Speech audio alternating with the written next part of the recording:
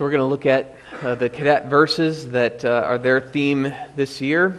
If you want to turn to the book of Hebrews, chapter 12.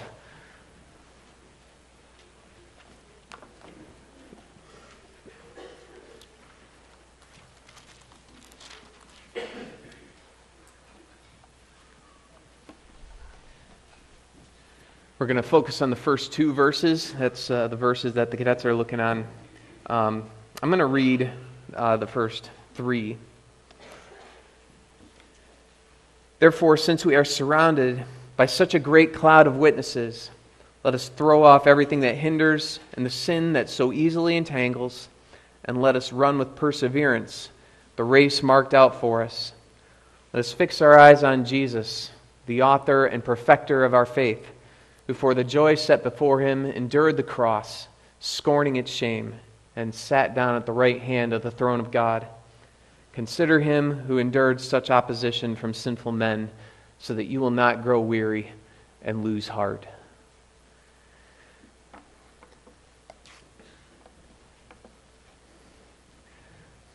There's kind of some sports imagery here in. Uh, in this, this running a race marked out for us.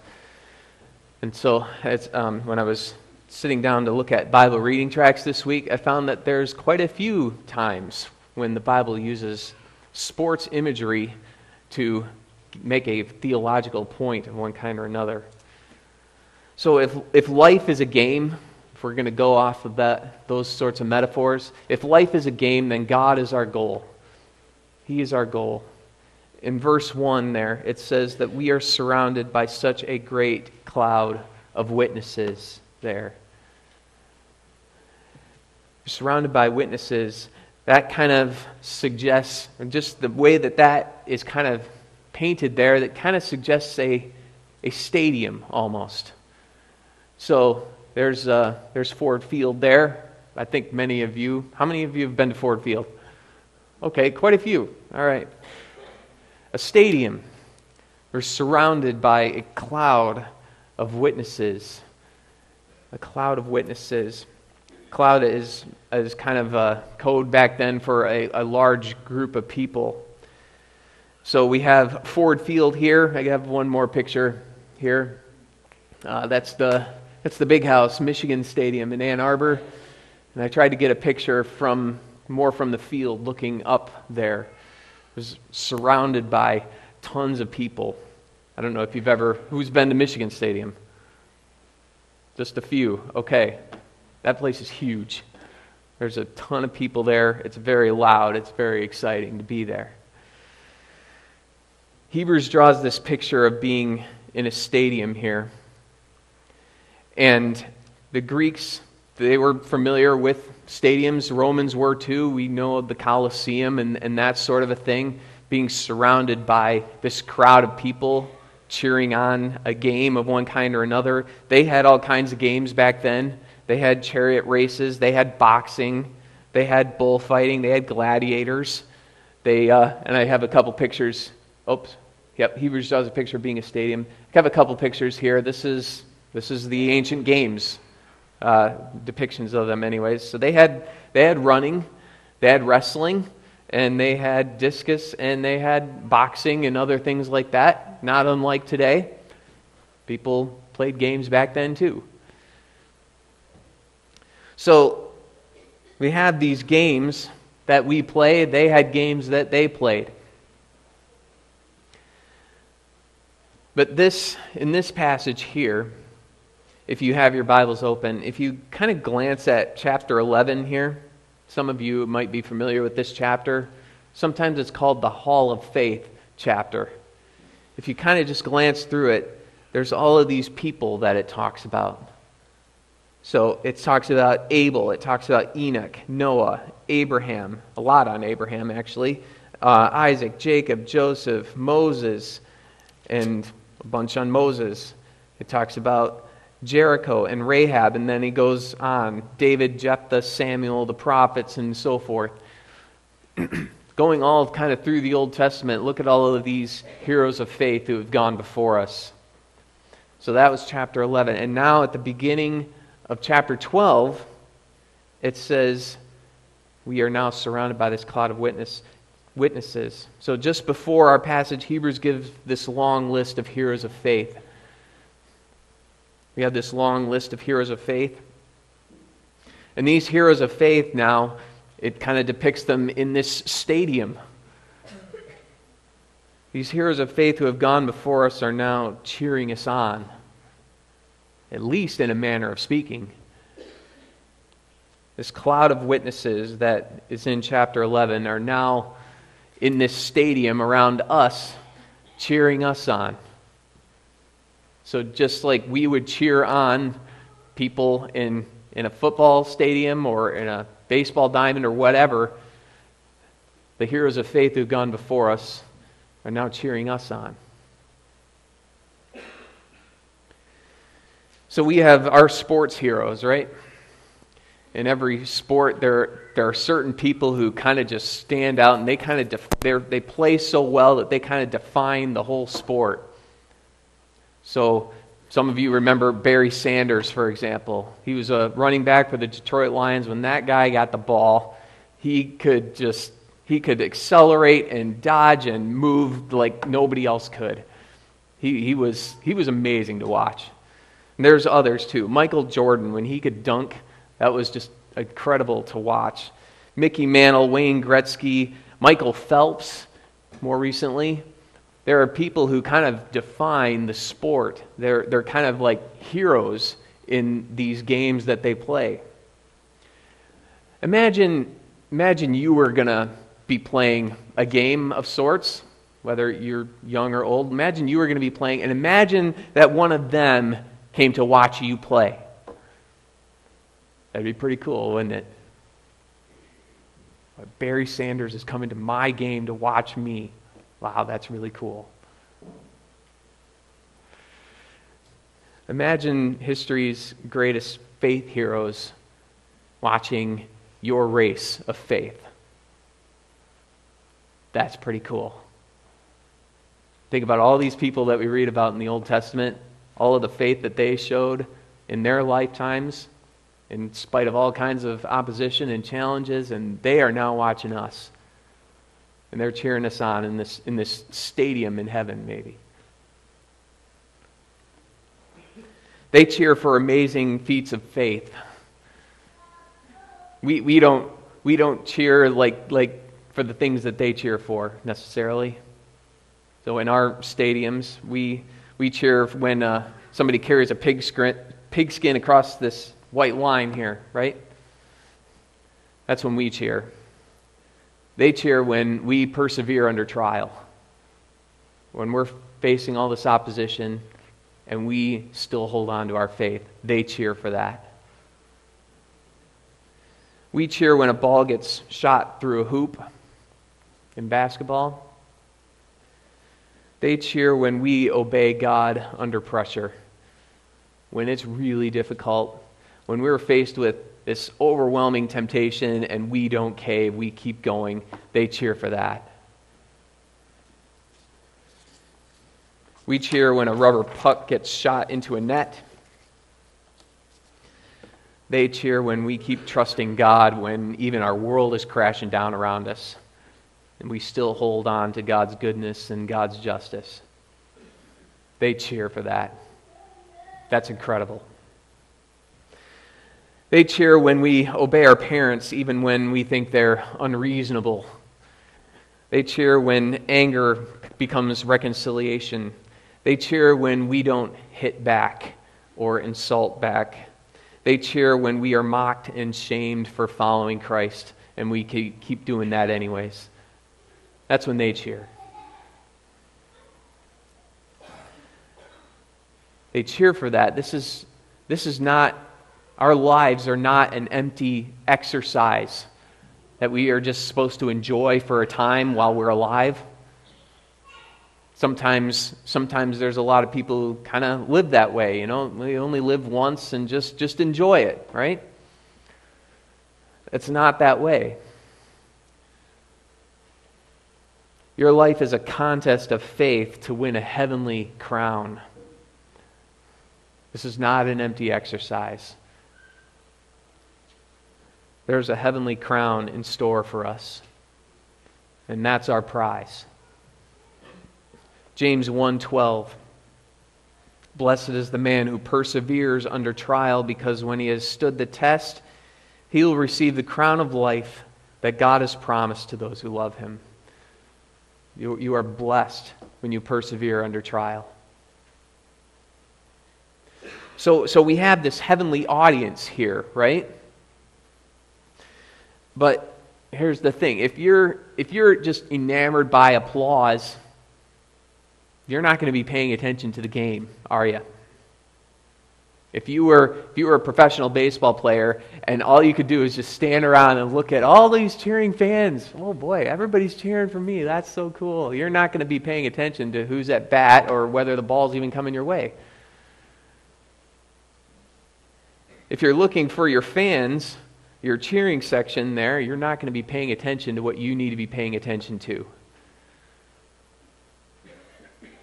So don't stare at the crowd. Play the game in your life, don't just stop and stare at the crowd in heaven. That's not where our focus needs to be. It's there and it's exciting, it's cool. But that's not, that's not where our attention needs to be. We need to keep our eyes in front of us because we're playing, we're playing a game and not just an empty exercise. We're playing a game of faith with some big consequences and real rewards.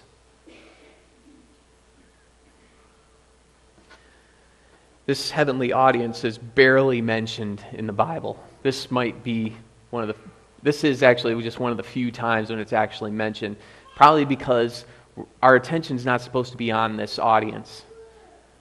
It, it's there, and we're kind of told about it, but, but that's, not, that's not the most important thing for us. We have a game to play. We need to get our heads in the game. We have some pretty fierce opponents in this game, some really tough things to overcome. Your opponents are not linebackers or pitchers or goalies. We have some bigger things to worry about. Ephesians 6:12 says our struggle is not against flesh and blood, but against the rulers, against the authorities, against the powers of this dark world, and against the spiritual forces of evil in the heavenly realms, we're up against stuff we can't even see. Those are our enemies, those are our opponents.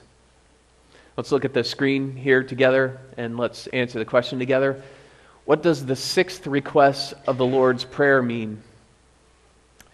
And lead us not into temptation, but deliver us from the evil one means by ourselves, we are too weak to hold our own, even for a moment. And our sworn enemies, the devil, the world, and our own flesh, never stop attacking us. And so, Lord, uphold us and make us strong with the strength of your Holy Spirit, so that we may not go down to defeat in this spiritual struggle but may firmly resist our enemies until we finally win the complete victory. Do you notice where it kind of mentions our enemies here, our opponents? The devil and the world and our own flesh. This is what we're up against. In verse 1, what we just read, it says, Let's throw off everything that hinders and the sin that so easily entangles us. So your opponents are the devil, the world, and your own flesh. Things that you can't exactly see or notice coming. This isn't like a regular game when you can see the ball, you can see your opponents, and the way forward is kind of clear all the time, or most of the time, rather. So, our challenge is to know what God says Know what this says here. Be in the Word.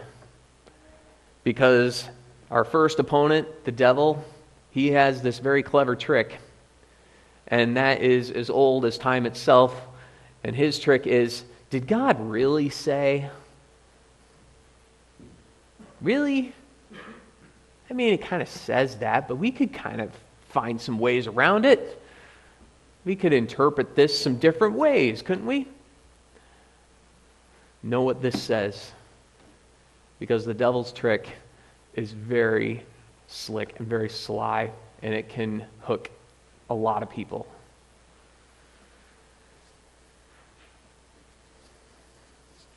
Link arms with good people in your life people who are godly, people who have their eyes on that prize, and who play the game really well. Because there's a lot of people out there who will take you down wrong paths. We tend to become like the people we hang out with. When you're making friends, when you're deciding how you want to spend your time, choose your, choose your friends pretty carefully. And our own flesh is our, is our opponent. Master your impulses. Master them. They are not the boss of you, you are the boss of them. You can decide how you want to respond to them. We don't think that way usually, but that is the truth.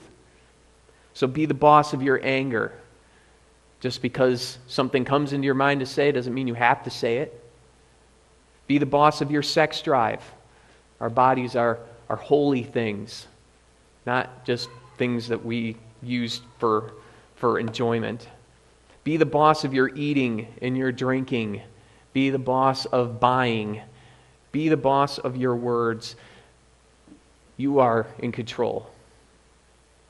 We have impulses and, and desires and thoughts, but that doesn't mean we have to act on them. You be the boss. Faith is a team sport, also. In this struggle, we can't really stand alone. We have opponents that are much bigger and stronger than we are, and we have people around us who can play different positions in this game.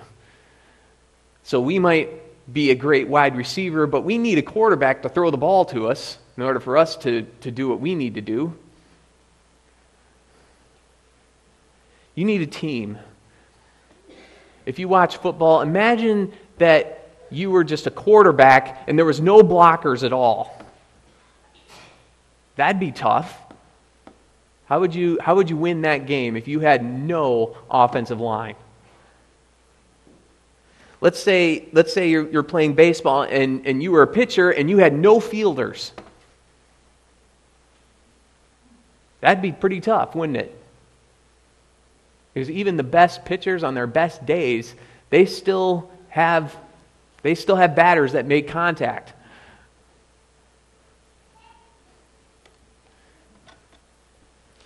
You need a body of believers. We all do. Make sure you're linking arms with people who can have your back and support you and block for you.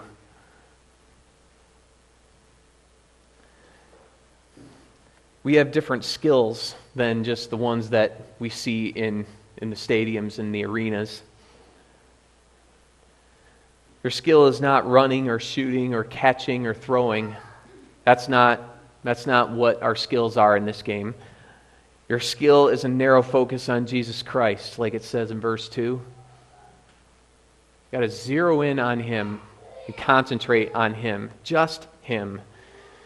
In sports, you may have heard this expression keep your eye on the ball, or at least I have many times keep your eye on the ball. That's, that's, that's in sports. In, in, in life, keep your eye on Jesus Christ. He's the one that you got to concentrate on. So keep your eye on your Savior. He's our Savior. Keep your eye on Him. Our salvation is not in ourselves, it's not on the inside, it's on our Savior. Concentrate on Him. In Taekwondo, when we're sparring, we, we put our gloves on and we have pads on our feet. Sometimes we have chest pads and stuff when, when we're sparring one another, the goal is to look each other in the eye. If you can see where your opponent is looking, you can know what they're doing before they even do it. It's difficult because as soon as they move and they're going to throw a punch, your eye's going to want to go to that punch. And you might get that punch and you might block it out of the way, but if they're a smart fighter, they're not just going to stop at that punch. They got two or three other punches coming after that. And if you're just concentrating on that one, oh, all right, I got it. Bam, bam, bam. It's happened to me many times. Okay? Look each other, looking each other in the eye. That's important. You have to have that focus in our lives. We need to have that focus on Jesus Christ, who He is, what He's done for us, and to figure out how to apply His life to our lives. There's kind of a trick to that. We'll kind of go over that a little bit here. So, for example, keeping your eye on your Savior. That means remember his temptation when you are tempted. When you're facing those temptations, urges, inklings, impulses, whatever, concentrate on his temptations. Remember him. In Hebrews chapter 2, it says, Because he himself suffered when he was tempted, he is able to help those who are being tempted. When you're tempted, he's your help. If you try to just muster your own willpower, you'll lose. You'll be exhausted. So, when you have cravings for junk food or porn or alcohol, when those cravings rear their ugly heads like that, remember his craving for bread when he was starving. Going for 40 days without food.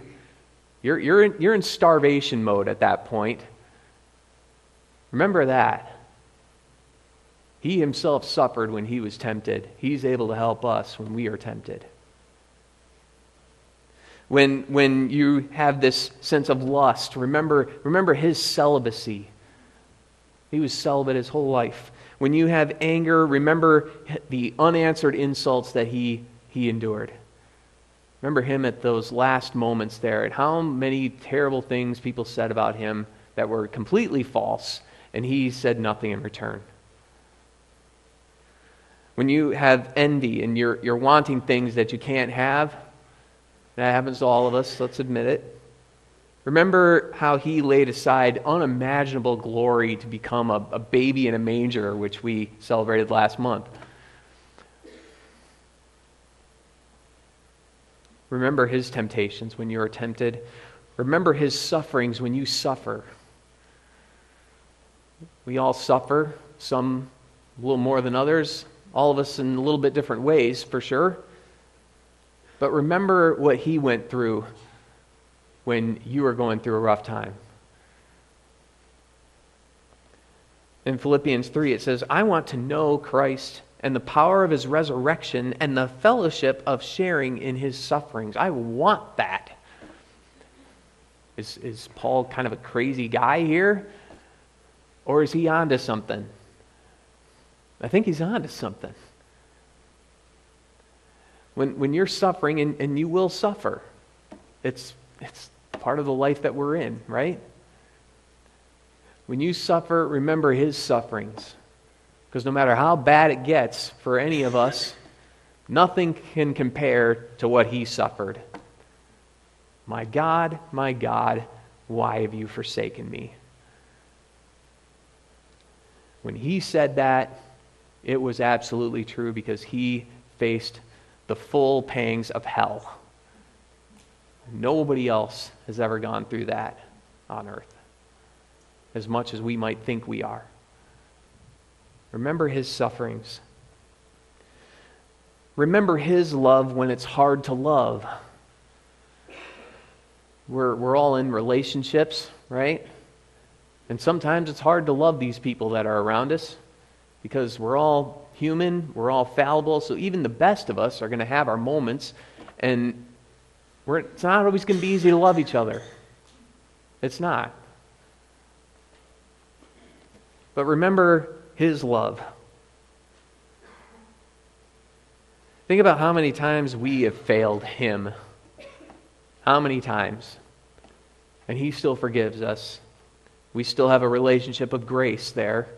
He still accepts us. That's amazing, isn't it?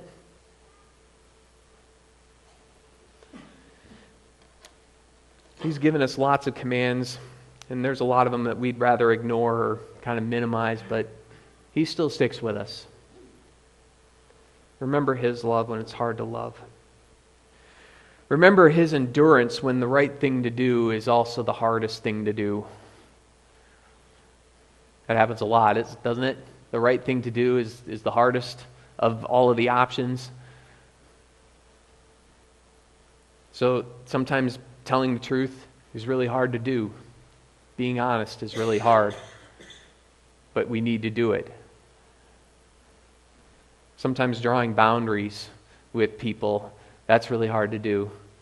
Sometimes enforcing boundaries when they they keep getting crossed, that's hard to do. But we need to do it. Disciplining your kids is sometimes hard. Obeying your parents is sometimes hard. But it's the right thing to do. Putting your family before your career is sometimes hard to do. Making time for God is sometimes hard to do. But we need to do it. It's the right thing to do. Remember his endurance and his perseverance when the right thing to do is hard.